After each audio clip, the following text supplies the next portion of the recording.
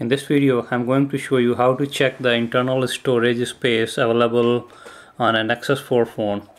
The procedure should apply to any Android phone. Uh, click on this uh, phone and click on the settings. You can make it out here. Uh, I don't want to add any account for this. So it's settings. On the settings it's there is a something called a storage.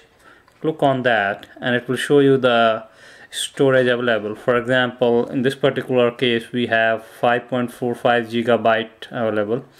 This is almost a brand new Nexus 4 phone it's a 8 gigabyte version. So if you have a 16 gigabyte you should have roughly 8 plus 5.45 about 13.45 gigabyte available. Thank you for watching this